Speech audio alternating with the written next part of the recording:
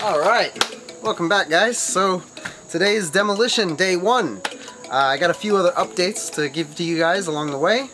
So first of all, we got our insulation in. I went with a bag of Havelock wool. This is 100% natural, no fiberglass, no rock wool, nothing like that because it can irritate the skin. Ugh. It's about $150 or something for just, just a small bag like this. But the good news is, the ambulance is mostly already insulated. So it has this thin sheet of about half inch foam pretty much everywhere that I've seen behind the panels, behind the walls. Um, but I also see a lot of gaps and a lot of cracks.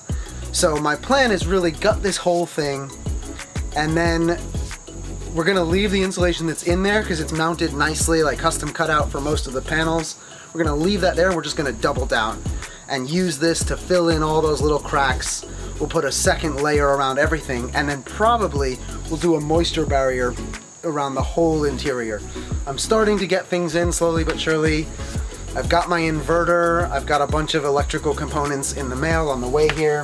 I think with, uh, with the little introduction here out of the way, we're gonna get into uh, day one of demolition and really starting to pull out some of this these cabinets and hopefully not rupture the oxygen line and explode. So here we go.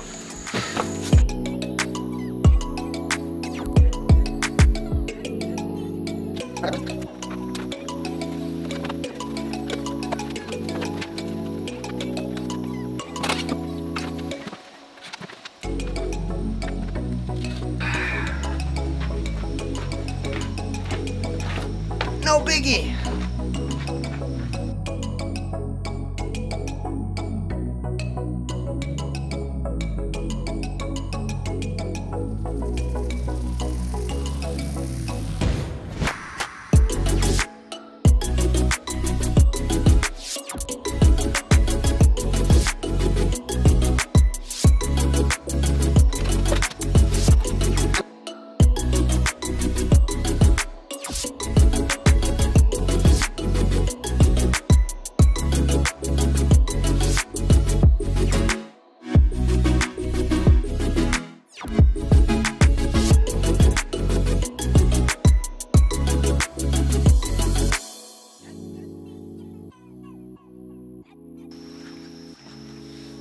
Okay, I think I see what's going on back there, which is why the cabinets on this side don't come out as easily and the cabinets on that side. To the best of my understanding, whew, that entire wall is one continuous piece of plywood, front to back. Or at least this forward eight feet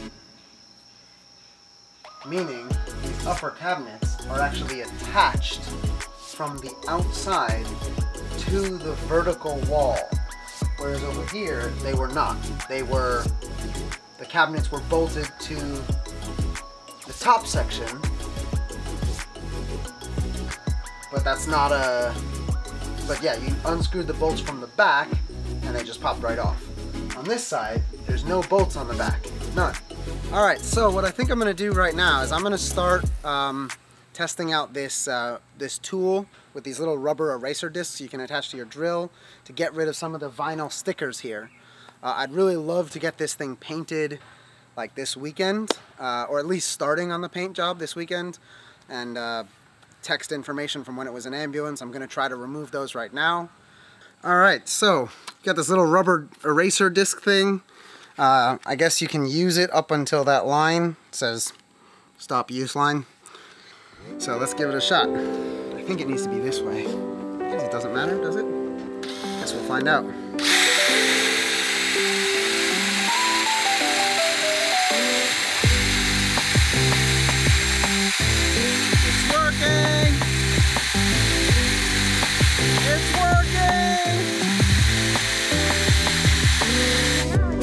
I mean, no more vinyl sticker.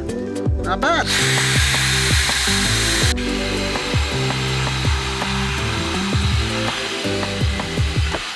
Ah, sticker goes all the way around inside.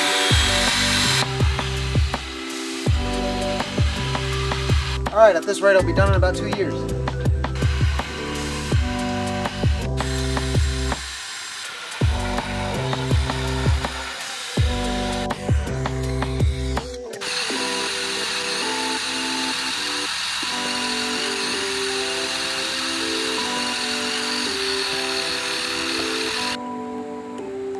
All blue. So I was just sitting here taking a break and I realized that the back of my ambulance has a face on it and now I can't unsee it and it kind of cracks me up but it's kind of creepy at the same time. it's like a clown face. Looks like it. Pennywise.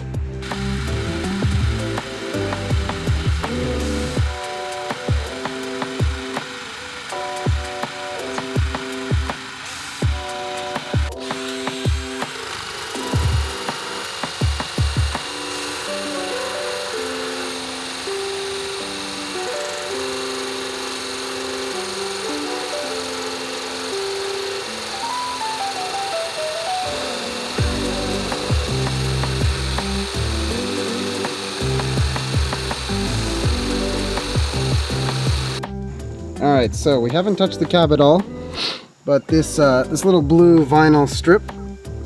So we got it off this entire line, except for the uh, the cabinets at the back there. So we still need to do that. We also haven't done it along the bottom anywhere, but luckily there's only one line down there. So I got these two lines off all the way up to the cabinet. I got the bottom text sticky stuff off there. On the back side, I got one part of this creepy clown smile. And then on this side back here, I got the two lines off the whole width of the box. And again, not down there and not on the cab. So we've pretty much, oh, and I got that, that uh, medical logo off there and another logo off there. So pretty much with one wheel, we've done most of both sides. And they're about 10, 10, 11 bucks each for the solid ones. For the cheap ones, not the fancy ones. I got the cheap ones. Um, yeah, not bad. What a mess. I think that's gonna wrap it up for me for today, guys. Um, so today was mostly just getting started on removing those, those vinyl stickers in preparation for painting. Uh, thanks for following along. And if you're interested in uh, following the main Earthman Dan channel, just go to YouTube and type Earthman Dan. Uh, that's going to be the channel where I'm posting uh, kind of educational and inspirational stories about uh, science, earth, wildlife, and all things nature.